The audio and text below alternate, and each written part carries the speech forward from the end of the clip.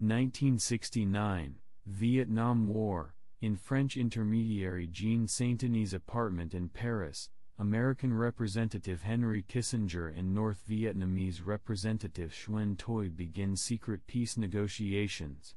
Negotiations will eventually fail.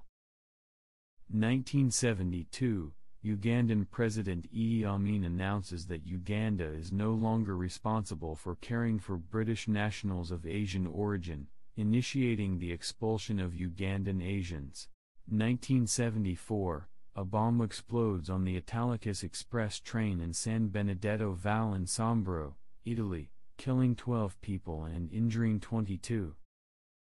1975, the Japanese Red Army takes more than 50 people hostage at the AIA building which houses several embassies in Kuala Lumpur, Malaysia.